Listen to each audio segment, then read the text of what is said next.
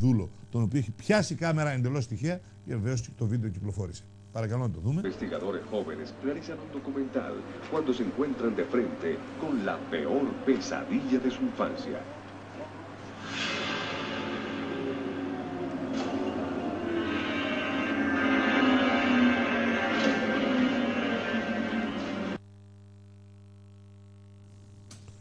Λοιπόν, αν μπορούσαμε να το δούμε από πιο κοντά παρακαλώ, να γυρίσουμε πίσω το πλάνο, να μπορέσουμε να το δούμε από κοντά τον γκρι δούλο, έτσι, έτσι, να τους.